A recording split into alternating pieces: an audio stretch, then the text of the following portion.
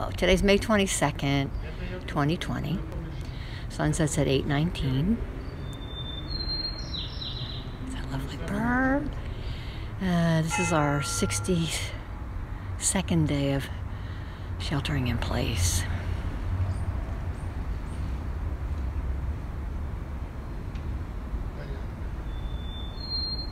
Хорошо, если я что-то найду,